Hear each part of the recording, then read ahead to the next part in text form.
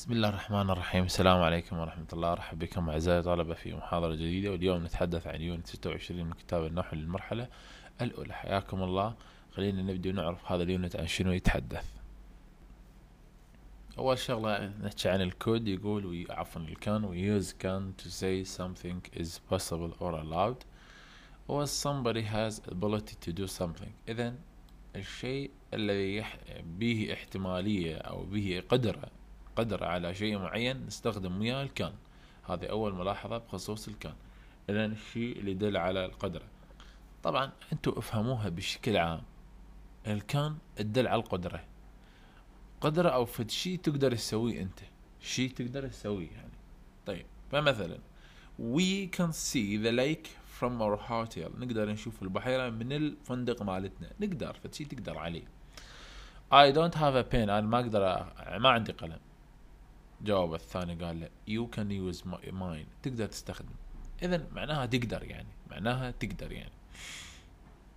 Can you speak English? Can you speak any foreign language? تقدر تحكي لغة أخرى؟ إذا معناها تقدر يعني. شلون بالعربي باللغة بالعربية باللهجة العراقية نقول تقدر. I can come and see tomorrow. أقدر أجي وأشوفك. يعني إذا الكان هي معناها أقدر. ونفيها كانت نفيها كانت نفس الشيء لما يكون عندك نفي. I'm afraid I can't come. أنا أخاف ما أقدر أجي. اذا أقدر ما أقدر. هي كان كان كانت. ملاحظة صغيرة أريدك تفهمها بأن ال can القدرة. see يرى come يأتي speak يتكلم. هذه الأفعال تدل على القدرة. بنقطة B يقول يمكن استبدال ال can بال is able to يعني مو مشكلة. ال able to نقدر نحطها بدال ال can ولكن استخدام ال can هو الأكثر. فمنطيك مثال. We are able to see the lake. نقدر نشوف البحيرة. نفس الشيء يعني. able إحنا نحن قادرين على رؤية. نفس الشيء معناها can. فإذا تستخدم ال can أو تستخدم ال be able to طبعا ال be معناها is و are و am و be يعني إذا كان الفاعل مفرد نحط is إذا كان فاعل جمع نحط إذا كان فاعل I نحط am. وراها able وراها to وإلى آخره.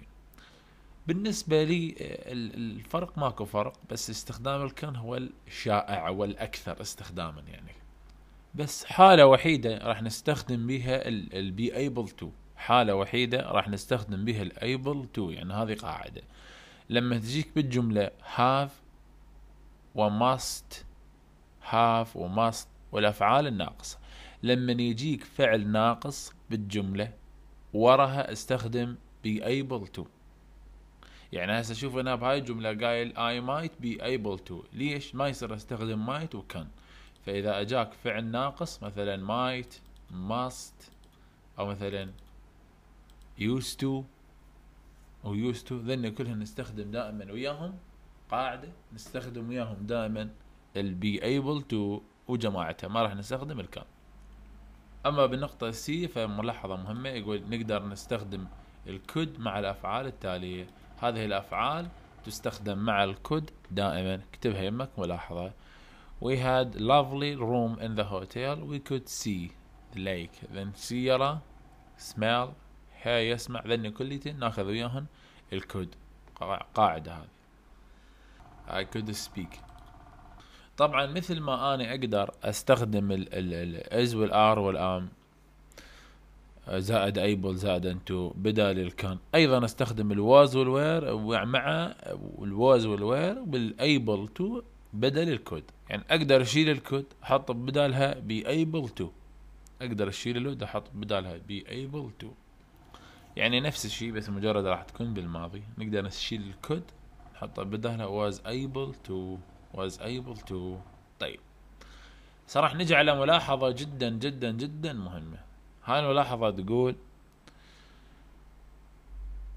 إذا خلينا نكتبها ملاحظة يمكن أفضل إذا شخص ما نجح في شيء في فعل معين إذا واحد نجح بفعل معين إذا واحد نجح بفعل معين فراح نستخدم ال manage to أو ال able to. عادة اثنينهم صحيحات بس أنا أفضل ال manage to.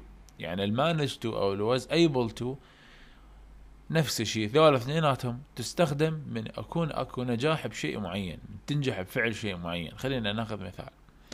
The fire spread the, the fire ال ال ال النار احترقت بسرعة.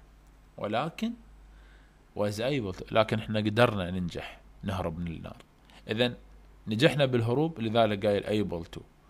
الجملة الثانية يقول I didn't know where Max was. ما أدري وين ماكس but I managed to find him at the end. بس أني لقيته بالأخير. إذا نجحت بإيجاده لذلك قايل manage. فإذا ال manage to وال was able to نفس الشيء. اثنيناتهم تستخدم لكي نقول شخص ما نجح بفعل معين. شخص ما نجح بفعل معين. طبعا هنا يجيب لك مقارنة على سبيل المثال. يقول لك جاك was excellent tennis player. جاك لاعب تنس كلش راقي.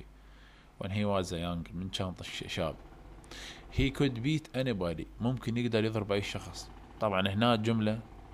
He was good enough to beat anybody. عنده القدرة الكافية لكي يضرب أي شخص.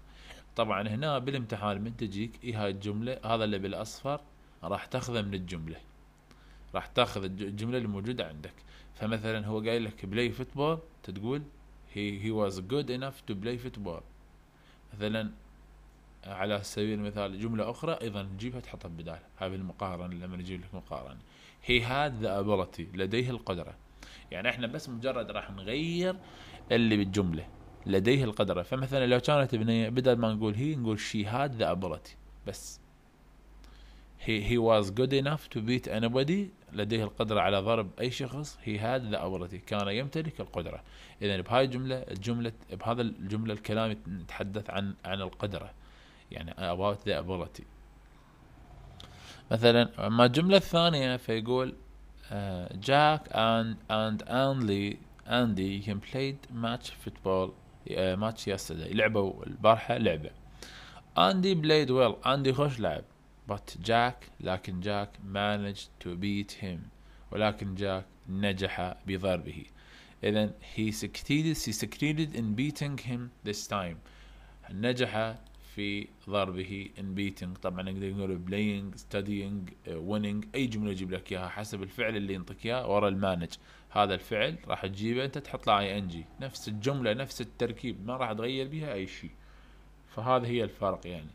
وهنا أقدر أعطيكم ملاحظة كلش حلوة بأنه المانج تجي ويا ال but. دائما من يشوف but جيب لك but مثلا ويقول لك could لو دائما من يشوف ال but هذه معناها شوف معناها but يعني معناها اختلف المعنى بمعنى انه اختلف يعني فصار نجاح يعني. فدائما نشوف هنا but اخذنا manage. هنا وين هم عندنا but؟ اخذنا manage. وهنا هم عندنا but. هم تحدثنا عن ال manage أو ال able to لأن هي نفس الشيء. فدائما اكتبها ملاحظة بأنه ال but تجي ويا ال manage to لأنه نجح بشيء معين يعني. وهذا الموضوع طبعا أنت مو ما تشوف but تحط manage بكيفك لا. يعني هو راح يجيب لك اختيارات مثلا أو يقول لك تركيب جملة. فأنت من تشوف could was able to أو could manage to أو يعني أي شيء آخر أو must to manage to أنت مباشرة راح تختار تختار ال manage to لأن ال manage to تجي ال but هذه ملاحظة حتى تسهل لك إن شاء الله الحل. لهنا ينتهي هذا ال unit نشوفكم بخير. لا تنسى تشترك بالقناة وتبلغ أصدقائك.